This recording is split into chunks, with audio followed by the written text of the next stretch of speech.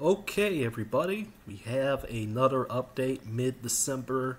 I know it's getting close to January, but I wanted to get it out anyway today because we have some news from the arena and indoor football circles. Yes, yes, we do. I thought it was going to be a little bit later in the week to get this out, but I guess not. You know, um, I'm Big Boy Sports. You already know who I am. Um, and y'all know also that we talk about the arena and indoor football stuff a lot on this channel. And first things first, we got the Arena Professional Football League trying to get their stuff together, trying to get things together. They've added a second team. We know Charlotte is the team that started it all for this league. And the Pennsylvania Union, they've left the American Indoor Football Alliance and have joined this league. So lower fees and stuff like that. Obviously, you know, there was like I think it's only like six thousand dollars to join this league. Um, you know, obviously, you know, Charlotte didn't want to pay too much to go to the NAL. That's why they're not. That's why they were rumored. They were only rumored to go, and they never actually went. They probably balked the fee and said, "Uh, uh this is a little bit too high for us," and so that's why they started their own league. You know, uh, again, I don't know. I don't know how this is going to work out. This is only a two-team league as it stands, um, and you know who who else is going to join? Don't know yet. I do not know yet. Meanwhile, in the AWFC, we got some uh, interesting non-conference type things. You know, the AWFC is playing teams in the American Indoor Football Alliance. You know, Wenatchee Valley, they're playing the Las Vegas Kings on the week wide bye week, you know, or on the league wide bye week for the AWFC on April the 23rd. And we'll go over to the AWFC here right now, because, or rather the AIFA right now, and we'll talk about them right here, right now.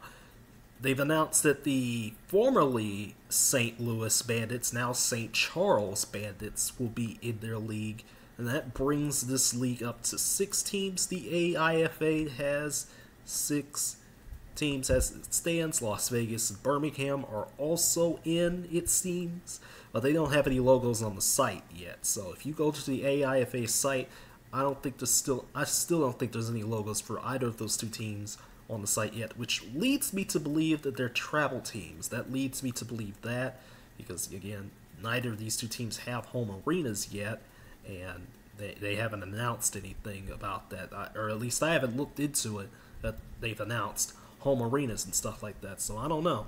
I genuinely don't know about that. You know, um, going back up here, we're talking CIF. You know, real quick. Um, Sioux City, they got Lorenzo Brown. That is huge. We already know that Billings signed a bunch of guys and looked like a stacked roster, but this is really huge. You know, Sioux Falls wasn't that great this year, and I mean, looks like Lorenzo Brown's you know going off to Sioux City, and looks like it's going to be some interesting times in the CIF this year. Going to be very interesting to see. Again, CIF has gotten their act together. You know, it's not complete, not completely together, but it, it gotten it together. You know, they still have their own problems that they can't seem to get rid of yet and hopefully they don't carry over into the season. But I mean, it is what it is. Um, the AAL, the only thing that the only thing that made headlines was the fact that they are potentially starting an AAL two again, and that was a that was a rumored idea from way back when. But it seems like their season, you know, the AAL's fifth season, not the AAL two. The AAL will start their fifth season in April, and it'll run till the middle of July. So um, th- that's really the only thing I could gather from the press statement release. You know, the AAL2 is seeming to be a developmental league, but you but you can't have a developmental league if you don't have you know a developed league in the first place. So there's a problem there. I mean. And I mean, these third tier leagues like the APFL and the AIFA and the AAL, you know, they're just shuffling. They're shuffling people around. Like I swear, you know, you know, like there was a director of operations. I think we, or rather, a director of team relations or whatever that we were talking about on the channel like a couple months back. Who did an interview with um, one channel on YouTube who's who was in the AL, like a director of operations or whatever for the AL. She then moved on to the APFL for some reason. Like I, I, I don't I don't know what's going on with the whole behind the scenes, you know, shuffling with these leagues and their owners and stuff like that. I don't know. I really don't know, man.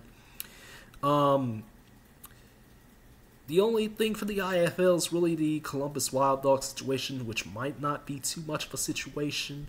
Um, the company that operates the team is separated from the Germains. Um, there's also the whole thing with a trademark seemingly expiring on the Wild Dogs name, so potentially could be a new name for the Columbus Wild Dogs, but we'll see. We know they're coming back in 2023. They sent out, the Wild Dogs sent out a release on that a few days ago, so that I wouldn't worry about this too much. That's really the only thing that I could gather. Of course, you know, IFL teams are still signing players and stuff as it stands right now. And the big one, the NAL. Last but not least, the NAL will begin their season on April the 23rd. It will run through July 23rd with the with the um, semifinals on the 30th of July and the NAL Championship on August 7th. So that's 16 weeks of NAL action for us all. You know, not as much as the IFL. IFL, you know, you know, has their you know 19 week, you know, uh, 16 game season. Um, but here, here's the kicker for the NAL: schedule is imbalanced. Uh, Albany, Orlando, um, San Antonio, and you know Columbus. They have two bye weeks. They play 12 games instead of 14. You know who does play 14 games? Jacksonville and Carolina. They're the two teams that are playing 14 games. So something's wrong here. Yeah, something's definitely wrong here. There, there's got to be some. There's got to be some sort of, you know, craziness available to where you have Jacksonville and Carolina playing seven home games, seven road games, 14 games in total, and yet everybody else is playing 12. I, I thought we got rid of these schedule imbalances. These have these have been a long-standing issue in the NAL, a long-standing issue. Like at least, you know, at least 20, uh, 2019 was probably the only season that has looked quite right in regards to the NA schedule. Like the, that's the only season where, and that was my first season watching the NAL, where the schedule looked right. You know, 2021 obviously a little bit, you know, a little truncated, but everything worked out. Everything was, you know, normal. You know, schedules look normal and stuff like that. Sure, there was some you know, like teams playing like three home games to start and then and then you know five road games to end it. That's obviously not good, but you know everybody still had the same amount of games. But now you got this type of stuff again, where you have schedule imbalances again. This happened in 2020 when the schedule was released, and you know it was not it was not it, it was not perfect. It was not perfect at all. Like schedule 2020 was not perfect before the season got canceled anyway. Not perfect at all. Like there were teams playing 13 games, there were teams playing 14, there were teams playing 12 games, and you had a 17 league then potentially. This is only a 16 league, you know. And again, we're stuck at 16s. We kind of knew this, you know, with the whole West Virginia thing not panning out, Jersey going back to the AL. We knew that. So the NAL again done messed up on the schedule.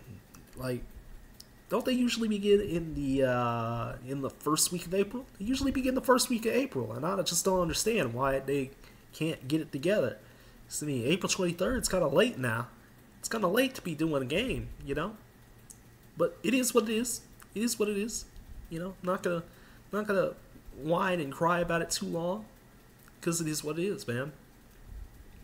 So the NAL they, they, they, they got they got they got a schedule out we know when the teams will play.